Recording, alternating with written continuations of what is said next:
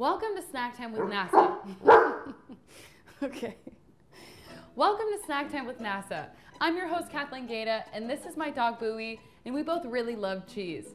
So, this past year at home, I think we've all learned to appreciate the little things in life, and again, one of those things for us is a nice big cheese board.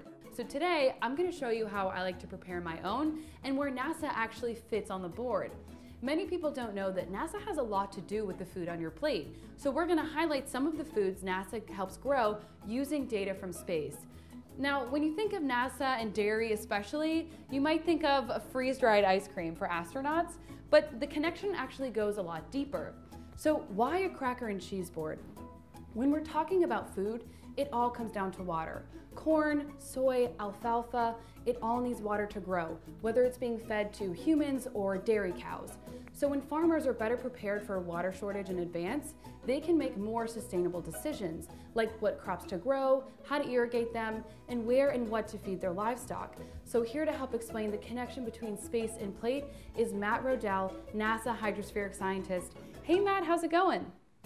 Hey Kathleen, how are you? Thanks for having me. I'm good, thanks for being here. So while I attempt to cube some cheese, can you tell me what NASA has to do with irrigation for agriculture? Absolutely. So, so agriculture requires uh, a nice wet soil for growing crops. In order to know how well the crops are going to grow, the farmers need to have a better idea of how much water there is in the soil. And so we've been coming up with better ways for monitoring uh, soil wetness from space. Um, one of the ways we do this is we use a, a, NASA satellite called SMAP, which is an acronym. And SMAP actually measures the wetness in the top of the soil worldwide um, every day. And this information is vital for understanding how much water is available for the plants, how much water is uh, needed for irrigating the crops. And so it's useful for farmers and land managers and, uh, and others. Um, it's also useful for monitoring drought. Another mission that NASA has uh, is called GRACE, which is another acronym. Um, and GRACE is really incredible because it, it uses measurements of Earth's gravity field to understand the amount of water on and in the land surface. So we can even measure things like the amount of water in the in the underground aquifers, deep underground. This is vitally important because groundwater is, is one of the main sources of water for agriculture. It's also a source of water for for people who have uh, wells in their backyard like I do. So when I turn the faucet on, that's groundwater coming out.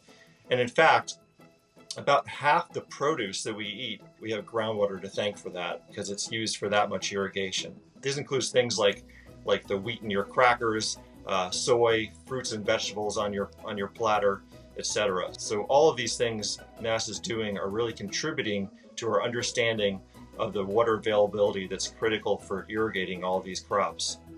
Interesting, and a good reminder that this cheese board needs dressing up. So I have edamame in front of me, and what I believe to be the most underrated part of a cheese board, which are carrots and olives. Yeah, those are pretty uh, water-intensive crops, and they're grown in the Central Valley, which is someplace where, where proper water management is really critical. I see you have some grapes there too. Uh, speaking of grapes, uh, NASA has an ongoing project with uh, the U.S. Department of Agriculture and vintners in California called GrapeX where we're using data from Landsat satellite along with multiple other uh, space and ground-based observation sources and advanced computer models to help to schedule irrigation for these vineyards and therefore preserve um, the precious resource water. It's really precious in California where there's an ongoing drought right now, um, as well as most of the American West. Um, we use data from, from multiple satellites to monitor drought, um, this helps the end users like the farmers and the ranchers and, uh, and others that are interested in agriculture to better prepare for drought and to better plan how to, to, uh, to mitigate the effects of drought. Um, drought's going to become even more important in the future, we believe, with climate change. It's likely that in some parts of the world, droughts are going to become more uh, frequent and more intense. And uh, it's possible that the dry parts of the world will get drier, wet parts of the world will get wetter that's where NASA comes in. So we're helping with not only uh, the current monitoring drought, but the forecasting of, uh, near current drought, and then uh, predictions of how climate is going to change in the future and how it's going to affect our water resources. Well, Matt, it looks like my cheese board's done. What do you think? I think it looks delicious, and I can't wait to go start my own lunch. Thanks so much for having me, Kathleen. Thank you for joining me, and thank you everyone for watching. I hope you learned a lot. I know I did. And I hope this episode wasn't too cheesy for you.